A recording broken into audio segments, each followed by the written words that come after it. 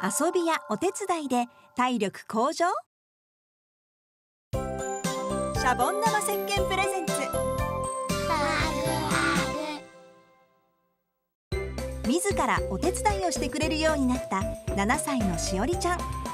大好きなホットケーキ作りもお手の物今回直子ママからこんな質問が。子供の体力をつけるにはどんなことをさせたらいいでしょうか？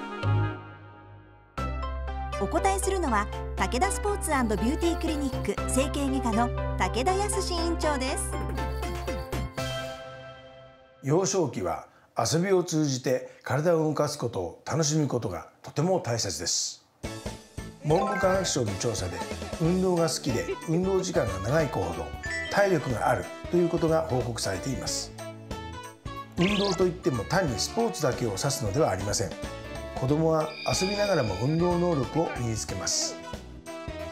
例えば鬼ごっこや縄跳びフラフープなど昔ながらの遊びには目と連動する動作が多く複合的な動きがバランスよく取り入れられています。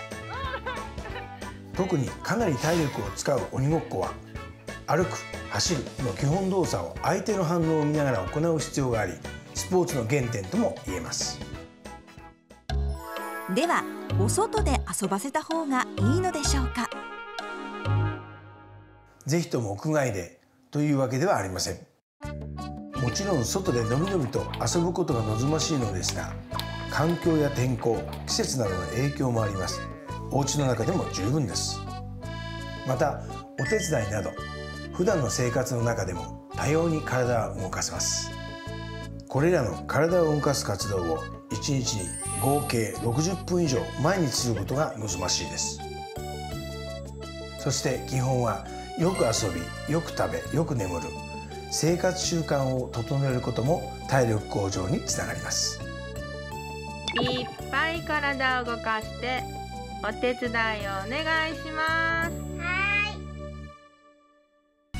番組では子育ての疑問悩みをお持ちの出演者を大募集。DNC ハグハグからご応募ください。